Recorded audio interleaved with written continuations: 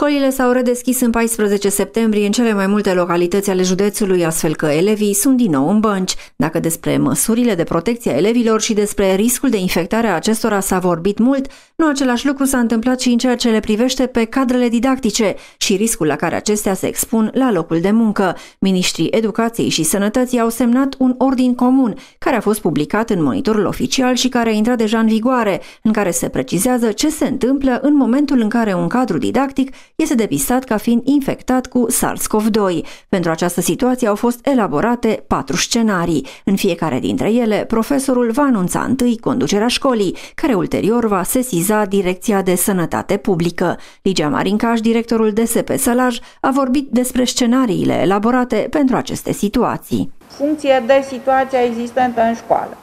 Dacă cadrul respectiv a predat la o singură clasă, da? Cadrul respectiv se internează, uh, școala, uh, copiii sunt puși în uh, carantină pentru 14 zile.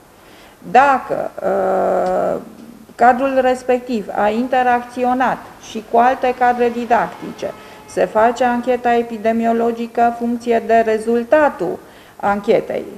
Dacă persoanele respective au stat în cancelarie cu mască, dacă au băut cafeaua cu mască sau n-au băut-o deloc. Funcție de alte incidențe care, care, sunt, care sunt acolo, să ia decizie individuală pentru carantinarea celorlalte persoane cu care cadrul didactic a, a intrat în contact. Și implicita elevilor la care, la care predăm.